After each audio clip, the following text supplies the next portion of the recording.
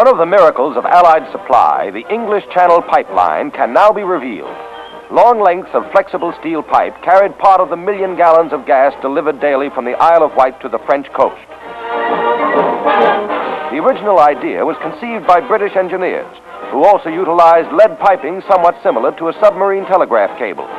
Three inches in diameter, the pipe was thoroughly insulated from sea action.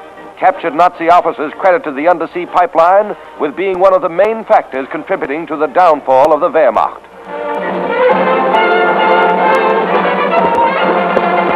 Following a test operation, cable ships began paying out the pipe soon after D-Day. Both lead and steel tubing, much of it made in America, were used to carry the vital fuel to our fighting fronts. The pipe, wound on huge drums 30 feet in diameter, was released while being towed across the channel. The Luftwaffe was missing on this occasion also, and the first line crossed in 10 hours. Near the tip of the Normandy Peninsula, the pipeline comes ashore. Altogether, 20 lines were soon providing a constant fuel supply. Carefully camouflaged buildings in the southeastern part of England hid pumping stations from enemy eyes.